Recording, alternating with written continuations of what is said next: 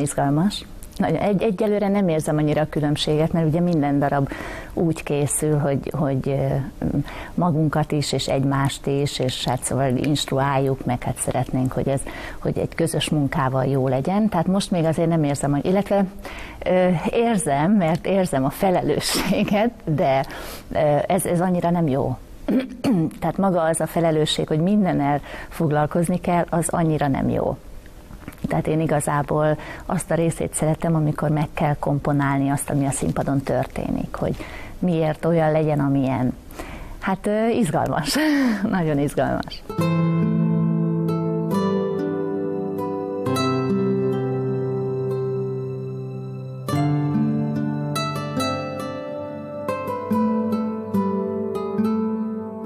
Ez nagyon nagy falat.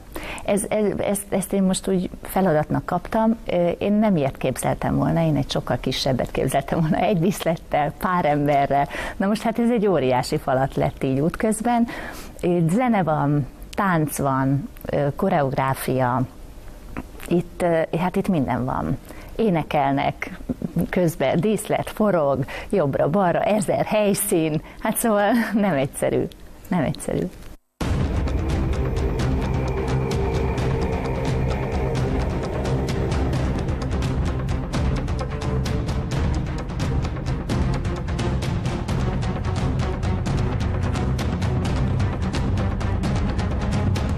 Ez a darab egy Mátyás király mese, illetve öt Mátyás király mese van ö, versben megírva. Szőke István Attila írta a verseket, illetve hát az egész meseversben van írva. Ez a darab. Öt ismert Mátyás király mese, nem fogom elmondani, hogy melyik mesék, jöjjenek el, nézzék meg.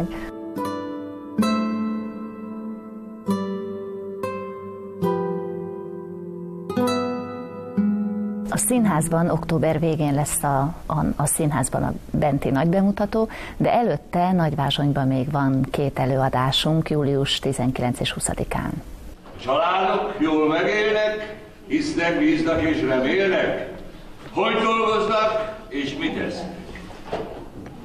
Vajon sokszor összevesznek? Egy, egy költőnek a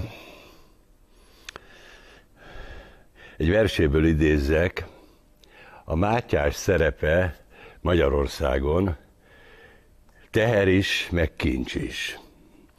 De tulajdonképpen ez egy nagy ajándék.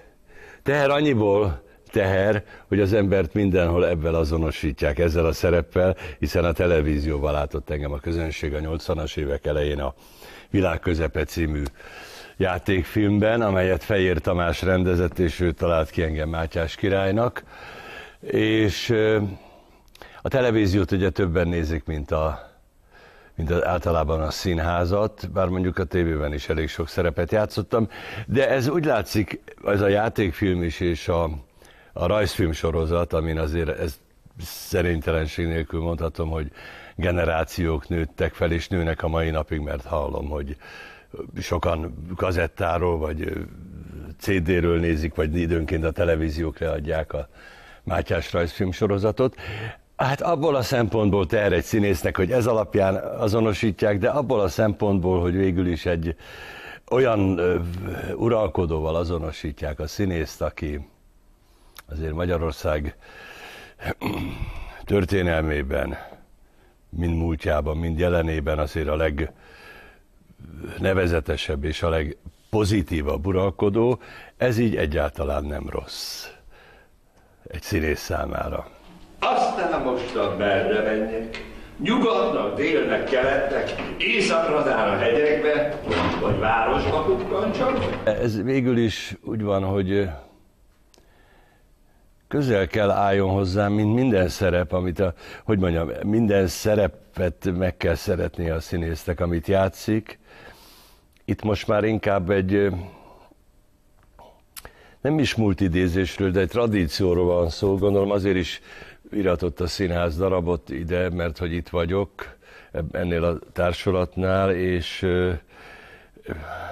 hogy a gyerekeknek legyen egy olyan filmbeli hőssel való lehetőségük azonosulni, aki valójában még itt van az a színész, akin felnőttek esetleg mind a rajzfilm, mind a mesefilm kapcsán, hogy végül is egy szerep, persze, vele kell bújni a bőrébe, és a koromnál fogva meg kell mondjam, hogy én sokat vívódtam, mert én pont ma vagyok 65 esztendős, és azért, mint tudjuk, a Mátyás 47 évesen meghalt, és hát amikor én azt forgattam, akkor a, akkor a 30-as éveim elejét tapostam, vagy akkor még futottam inkább. A terest is használjátok. Mi büntetés szabjak rá? Kegyelmez, kegyelmez nékem. Jó királyom, én ezt kérem, előtte most térdre esem, jóságolért. Esedezem. Természetesen egy szerep, hát én nem gondolom magamról, hogy Mátyás király vagyok, de azért ha megszólítanak az utcán az ország bármely részén, hogy á, a Mátyás király, a Mátyás király. Sőt, volt olyan mókás esetem is, hogy a hogy a, a, pont akkor mutatták be nem sokkal előtt, és a játékszínben még a Nemzeti Kamara színházaként próbáltunk egy darabot, és nem volt büfé a színházba a játékszínben, és kimentünk a Jókai utcába, ott volt egy kis söröző, egy kocsma, ott kávéztunk, hogy söröztünk, nem tudom, szünetbe voltunk, és a, ahogy álltunk a pultás, noblisztak páran, ilyen vetérő ebédszünetes munkások, melósok.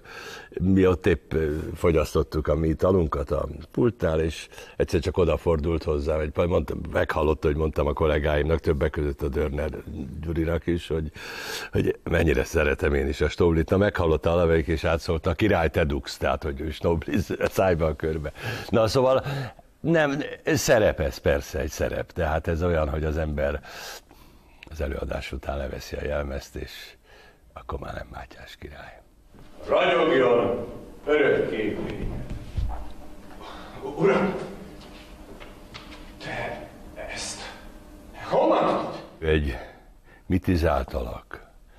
Tehát mi a, a darabot írók nem a történész szemével írják, sajnos pedig lehetne írni róla komoly darabot is, már olyan komolyat, ami érinti az ő uralkodói munkásságát, ami amit azért meg kell becsülnünk, mert hiszen ezek a mesék, legendák, ezek többnyire a király halála, sőt, bizonyossággal elmondható, hogy a király halála után születtek, sőt, mi több a Mohácsi vész után születtek, amikor széthullott az ország, és a Mátyás idejében ez bizony egy ez egy, hát nem is egy nagy birodalom, egy középbirodalom volt Európa térképén, és ezt a Mátyás király tartotta egyben az ő fekete serege és az ő uralkodása, és a fekete sereghez pénz kell. Természetesen a maga korában nem volt népszerű uralkodó, gondolom én, nem vagyok én annyira otthon a történelemben, de mégiscsak rádöbbent egy ország egy, a halála után egy jó 40 évvel, fél évszázaddal, és akkor kezdtek el születni, hogy bezzeg volt nekünk valamikor egy jó uralkodónk, amikor egybe volt az ország, nagy volt az ország, és gazdag volt az ország. Isten hozott, lám a napom felragyogott, ha te látogatsz meg engem, tudom bizén, mit kell tennem. És sok mindent köszönhetünk Mátyásnak, illetve a házasságának köszönhetően olasz kultúrát, francia kultúrát, nyugati kultúrát, és de amit akartam, illetve amit kérdezett, hogy itt ezekben a darabokban, a mesejátékokban többnyire a szimpatikus, kedves, igazságos uralkodót látjuk. Soha nem látjuk a, a kíméletlen, valószínűleg igazságos lehetett, de soha nem látjuk a kíméletlent, a kalandos fickót látjuk benne, aki kiment. Amikor forgattuk a filmet, eszembe jutott, hogy ezt nagyon jól megírta a szerző, a Bárány Tamás a világ közepében, hogy valószínűleg, mivel ő nagyon fiatalon, 15-16 évesen váratlanul király lett, és ezt több fölvállalta, és nyilván tájékozott volt, nem csak az oktatói által, hanem a, a tradicionálisan a, a szülők, az apja által is, hogy, hogy meg kell tapasztalni az életet, nem elég az, ami az udvaroncok szűrőin keresztül eljut a legfőbb hatalomhoz. És valószínűleg ez a sok kalandvágy, ami azon túl, hogy egy fiatal ember utál könyvek között beszorítva lenni, és folyton verik a fejébe a tudást, meg a hadviselés tudományától kezdve a nyelvekig mindenfélét. Tehát a fiatal vére is hajtja, hogy kimozduljon egy kicsit, mert azért nagy darabság lehet egy uralkodónak élni. Ezt tudjuk még a mai uralkodókról is, hogy mennyire nem könnyű megmozdulni, nem csak a paparazzik miatt, hanem, hanem egyáltalán, hogy nem bezárva lenni, hogy áruhába kiment, és én ebből beleképzelem azt is, hogy azért is, hogy megtudja, hogy valóban mi történik a világban, hogy mármint a, a, a, az udvaron kívüli világban, úgyhogy hát egy izgalmas élet lehetett. Kedves uram, jó királyom, én neked most azt ajánlom, öltöz rögves áruhába! Én vagyok az okos boton ebben a darabban, ami tulajdonképpen a Mátyás királynak a bolondja, legbelsőbb tanácsadója, ő az, aki első kézből tanácsolja azt, hogy nézze meg az országát, ha annyira kíváncsi rá, hogy hogyan élnek benne az emberek, e, és hogy ezt milyen formában tegye, azt is ő tanácsolja neki, és végig kíséri ezeken a kiruccanásain a királyt, magát. Ide mehetsz, oda mehetsz. Sok-sok embert megismerhetsz. Lehet bizony sok kalandot, és meghallhatod a néphangot. Mert a nép az mindig beszél, hasüt a nap, ha fú a szél. Van egy ilyen kommentáló ö, szerepe is, ő az, akivel tulajdonképpen a Mátyás király megbeszéli a történteket, történéseket. E, ő az, ő. A nép az mindig beszél, ha süt a nap, ha fú a szél. És figyelni kell arra, mit mond. Napjaiban kapad elmond. És hogyha mindezt meghallgatod, és utána önmagadatod, akkor jó leszel királynak, és támaszva egy szép országot. Annyiban nehéz, hogy nagyon sokszor van az, hogy egészen odáig elkíséri, addig a pontig, hogy elérnek abba a városba, az adott városba, és utána tulajdonképpen magára hagyja a királyt, hogy a saját bőrén tapasztalja meg, hogy milyen is tulajdonképpen az élet, hiszen a palotában el van szeparálva a néptől. És azt kitalálni, hogy addig, addig ez az okosbotnon tulajdonképpen mit csinál. Vagy mennyire vesz részt a történetben. A mérőleg ott volt, nincs itt lám, messzire tudott pedig, pedig lehet hasonlított. Van benne, van benne, hogy mondjam, egyfajta a, lehetőség arra, hogy, hogy ilyen sablonszerű, vagy mindenki által első kézből, első blikből mm, eszébe jutó ilyen udvari bolond figura legyen, de azért annál egy picivel több. Tehát, tehát mint egy ilyen árnyék, vagy, vagy hogyha azt is mondom, van benne egy ilyen, egy ilyen luciferi vonal is, amikor így felajánlja a Mátyásnak, hogy induljon el ezen az úton. A követ dob nem kiabál, a harmadik kibizsipál, harcos mindenkit lepipál. Na, gyere, Gyerekeknek szól alapvetően ez a történet, ami tulajdonképpen annyit jelent, hogy nagyon erőteljes színekkel, de mégis nagyon pontosan és igazul kell felfesteni és felrakni a szituációkat. A tapasztalatom, után játszottam már egy-két ilyen gyerek előadásban, ma gyerekeknek szóló, alapvetően gyerekeknek szóló előadásokban, ők, ők még konkrétabban leveszik, és kapásból visszajeleznek, hogyha valami nem tiszta előttük hogyha az, amit látnak a színpadon, az a képlet az nem plastikusan jelenik meg, akkor azonnal lekapcsolódnak a történetről, és azonnal ennek hangot is adnak. Tehát akkor, akkor elvesztjük a figyelmüket. Tehát nagyon pontosan kell lerakni ezeket a, ezeknek a szituációknak az alapjait, hogy ők is élvezni élvezni tudják ezeket a jeleneteket. Itt járt Mátyás király. Ha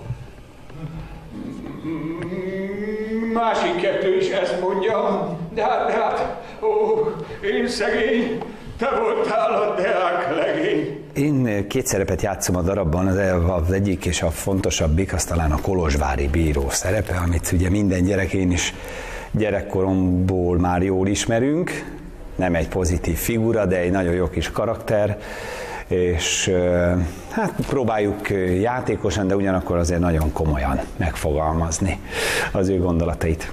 Az egyik Szikla Béla, malomkövet hajít még ma! A másik az egy néma szerep, az egy erőversenyen Szikla Béla maga, és ezt is nagyon élvezzük. Próbálunk, mondom még egyszer úgy karikírozni, hogy azért az a, hogy az, az a figura az hihető legyen. Tehát én azt gondolom, hogy egy gyerekerőadásban a jó kedvet, a vidámságot megtartva azért komolyan kell embert ábrázolni. Kicsit szélsőségesebben, kicsit erős színekkel, de mégis hihetővé tenni a figurát. A lóról mind a király köré állnak! Maradj, maradj. Elindulnak felé éppen, ide jönnek mindenképpen! Ez csak annyiban nehéz, hogy nagyon gyors öltözésem lesz, mert egyik jelent követi a másikat, úgyhogy és ez egész más a jelmeze. Úgyhogy hát reméljük majd ezt ügy, ügyesen megoldjuk, sőt még kis mink változtatás is van, mert ugye a bíró az biztos, hogy nagy bajuszú, ez a Béla meg nem. Úgyhogy hát majd meglátjuk, de szerintem menni fog.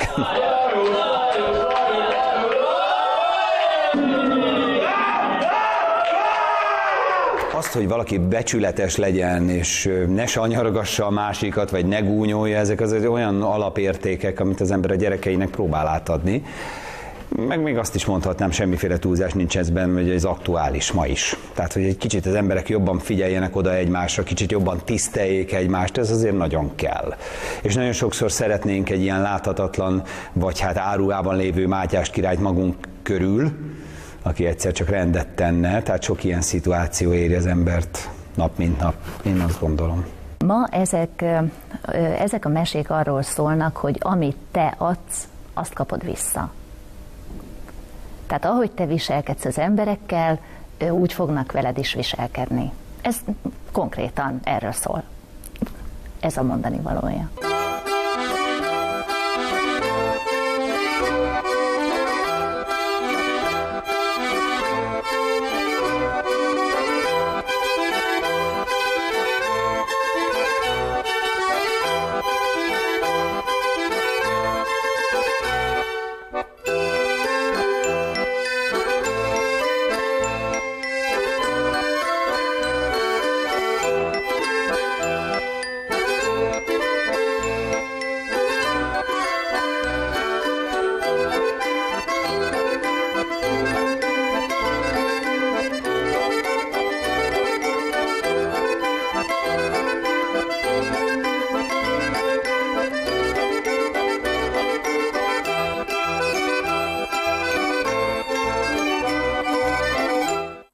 Kaptam először is ugye egy, egy ilyen szavazólapot, hogy a társulaton belül én kit tartok érdemesnek, mint hogy minden egyes kollégám a színházban arra, hogy jelöltje legyen ennek a díjnak.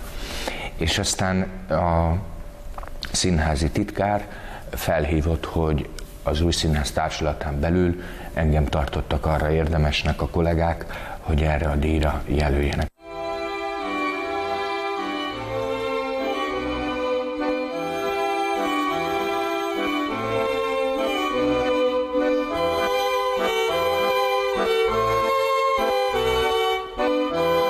Aztán volt egy második forduló, amikor ezek a jelöltek, az összes színházak által megszavazott jelöltek szavaztak egymásra. Az volt a második kör, és aztán derültékből villámcsapásként jött ez a történet, hogy, hogy ezek a kollégák is legalábbis egy részük nekem szavazott bizalmat, ami egy nagyon jó érzés, és és lendületet és erőt ad a továbbiakra nézve, ugyanakkor meg egyfajta, egyfajta egy ilyen figyelmeztetés, vagy nem is tudom, hogy fogalmazzam, vagy annak is veszem legalábbis, hogy hogy azon a fajta munkamódszeren vagy emberi hozzáálláson ne változtassak, mint ami, mint amit idáig is folytattam.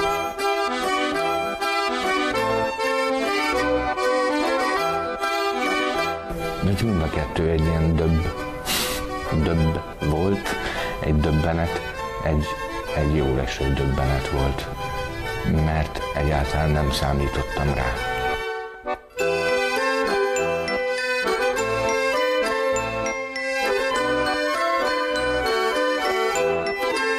Hát számomra már az, hogy benne vagyok ebben a háromban, a Borovics Tamás és a Nyári Oszkár mellett vagyok én a harmadik, akikre a közönség szavazhat május 31-ig. Már ez, hogy itt a nomináltak között szerepel a nevem, nekem már ez, ez egy nagyon komoly elismerés. Azért, mert színészek és a kollégák részéről jött ez a visszajelzés. Tehát ezt, ezt hogy benne vagyok ebbe a háromba, ez úgy is mondhatnám, hogy ez egy komoly szakmai jellegű elismerése a munkámnak. Amit mondom, először így a hihetetlen kategóriába tartozott, hogy egyáltalán ott vagyok, másrészt meg nagyon örültem neki, és harmadrészt pedig mondom, egyfajta felelősség is, hogy azt a fajta mentalitást, ahogyan mondjuk én dolgozom, azt továbbra is megőrizzem.